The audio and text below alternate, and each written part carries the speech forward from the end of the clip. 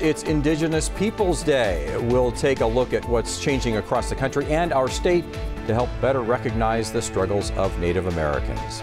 Good evening. Thank you for joining us. I'm Pat Parris. And I'm Heidi Alagha. Along with Indigenous Peoples Day, it's also Columbus Day. As KGUN 9 on your side's Craig Smith reports the day reflects a change in perception of the role of Native Americans in our country's history and future. Indigenous Peoples Day is the same day that had been set aside to remember Christopher Columbus, who began the era of European colonization of the Americas. This day recognizes that for indigenous peoples, that began an era of lost land and lost lives. President Biden's decision to restore larger boundaries to better protect Utah's Bears Ears National Monument combines respect for the environment and respect for the tribes that see that land as sacred. As the first president to formally acknowledge Indigenous Peoples Day, he called for investing in the future of Native American communities and empowering tribal nations to make their own decisions.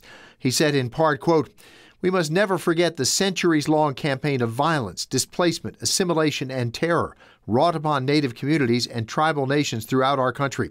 Today, we acknowledge the significant sacrifices made by Native peoples to this country and recognize their many ongoing contributions to our nation.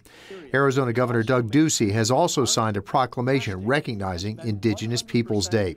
Here in Tucson, Dillon Dobson, a member of the Cowlitz tribe of the Pacific Northwest, is president of U of A's Native American Law Student Association. He was pleased by the president's words and hopes to see more action, like revoking pipeline permits and reinstating protection for wolves you know, uh, respecting sacred lands of our indigenous communities, for example, Apache Stronghold, uh, among many, many others. Uh, and here in particular as well, there are a lot of issues um, that have been created as a result of the border um, separating uh, indigenous peoples on the north and south side of the border. And so comprehensive immigration reform uh, is a, a critical part of of uh, you know respecting indigenous sovereignty. And Dobson thinks rising respect for tribes reflects rising recognition of their voting power. Craig Smith, KGUN 9 on your side.